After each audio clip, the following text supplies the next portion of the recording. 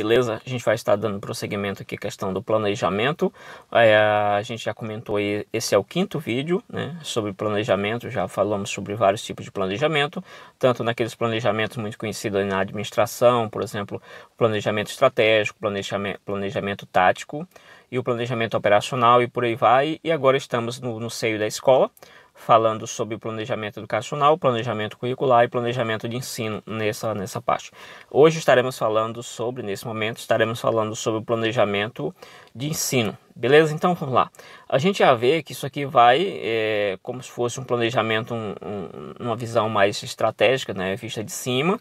E aí a coisa vai se afunilando. Aqui tem a parte do, do objetivo aí mais geral, e aí você vai dividindo aqui a questão curricular do currículo, montando o currículo, e aqui você vai cair na parte do ensino, e a coisa vai se afunilando. Beleza, sobre o planejamento de ensino, que seria um roteiro bem organizado, é, relacionado à questão de, de, unidade didática, né? Então você vai, essas divisões é um roteiro aí. Aqui você tem a, especificação, é, é, ele é uma especificação do, do, do curricular, né? Ou seja, desse aqui de cima é uma já é uma forma mais detalhada dessa questão do currículo, como que a gente vai atuar aqui. É, em relação à sua abrangência, por exemplo, geralmente se diz que ele tem uma abrangência, esse, esse planejamento de ensino de, de seis meses, né, semestral ou então anual, no caso ano, é mais ou menos por aí. É, a questão dos objetivos desse planejamento de ensino, é exatamente previsão das ações docentes, prever, tentar prever essas ações docentes para tentar ali dar ao aluno um ensino de qualidade. E aí você tem também a ideia de tentar evitar o improviso. Então, se você planeja uma viagem, você tem como, é, às vezes, até se livrar de boa parte daquilo, daquilo que, daquelas situações difíceis que você de antemão já até previu, né? Se ia ter algum problema ali na estrada, sei lá, se você ia pegar onde, se fosse de ônibus, de carro, se o pneu estava baixo, se coisa desse tipo, manutenção, gasolina, sei lá, qualquer coisa aí. Você se planejando é muito melhor, tá bom? Sobre a questão dos, dos elementos que compõem esse, esse planejamento de ensino, você tem a justificativa. Se você fosse montar um plano, né, isso aqui cai em concurso também algumas questões é, do que a gente está falando aqui nesse momento, cai em concurso algumas perguntas assim. Você tendo já esse esqueleto, esse mapa mental, você já vai se sair muito bem em boa parte das perguntas, tá bom?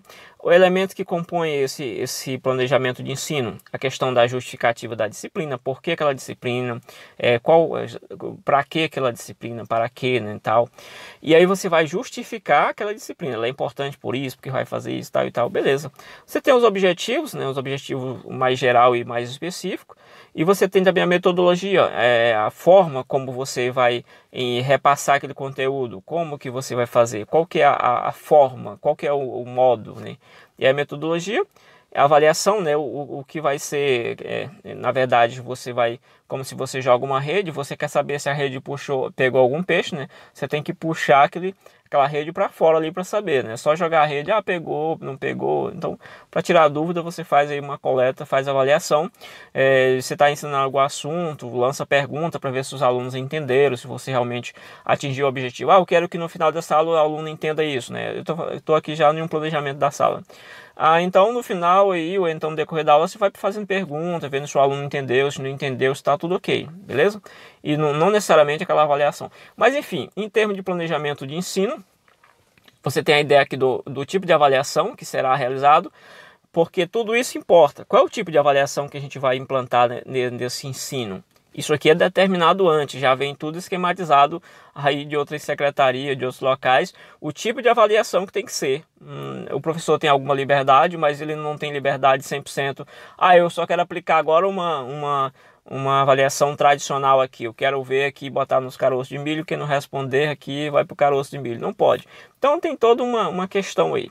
A outra questão, é, todas essas questões estão ligadas aos aos objetivos sociais e objetivos pedagógicos. Quais são os objetivos sociais? Que objetivos sociais? Objetivos políticos, né? Que tipo de homem a gente quer ser? A, a, a gente quer formar. Então, dependendo disso aí, você vai ter um, um, um objetivo diferente, um conteúdo ali alinhado àquele objetivo e também avaliação relacionada àquilo, tá? É, assegura o trabalho docente, né, dando aí a esse trabalho uma ideia mais racional, racionalização do trabalho, organização e coordenação. Basicamente, é isso. Esse, esse, essa questão do, do planejamento de ensino, ele deve também, ele deve prever algumas coisas. Por exemplo, o objetivo tem para quê? Eu vou ensinar isso aqui para quê? Qual é o objetivo? Ah, eu quero formar um homem crítico, beleza. Ah, eu quero formar um homem que mesmo só para trabalhar ali, ter o seu lugar ao sol, um pensamento mais tradicional aí, Emílio Durkheim, uma coisa desse tipo tal. Eu quero formar revolucionário, beleza, então tranquilo.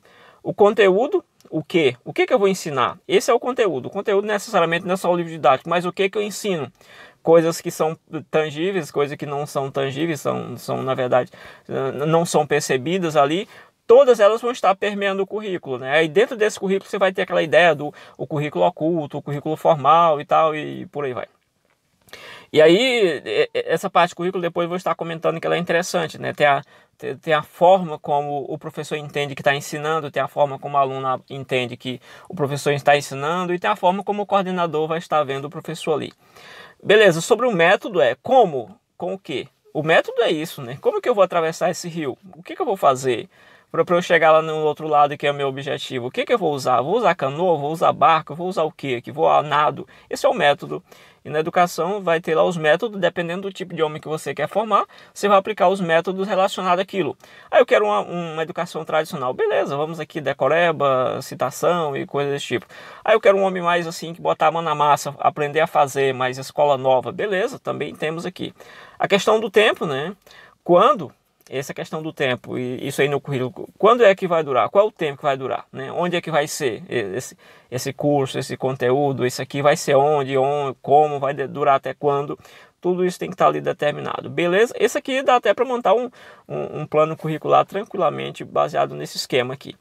Questão da avaliação. O que foi efetivamente aprendido? O que foi ensinado e o que foi aprendido? Porque às vezes eu posso entender que o aluno aprendeu, mas e não, não, não fazer nenhum tipo de avaliação. Com a avaliação eu vou exatamente é, entender o que, que o aluno captou ali. Beleza? Então, basicamente, era esse um vídeo muito rápido, né? Acredito que será útil para você, será útil para mim. Sempre use isso aqui para ficar com essa, essa mentalidade, esse, esse esquema aqui na mente do, do, do, do tipo de, de planejamento, tal, para ter na hora da prova, na hora da vida ali, até mesmo na escola, entender mais desse processo. Isso é muito legal. Isso aqui faz parte dos meus estudos, né? Isso aqui não, não, não, não estou ensinando nada aqui do arco da velha, como se diz, um conhecimento que está oculto, mas isso aqui faz parte dos meus estudos. estou estudando alguma coisa, eu vou compartilhando com vocês, beleza? Até o próximo vídeo, se inscreva no canal se quiser. E aí deixa um comentário, sempre deixa um comentário que isso é importante, tá bom?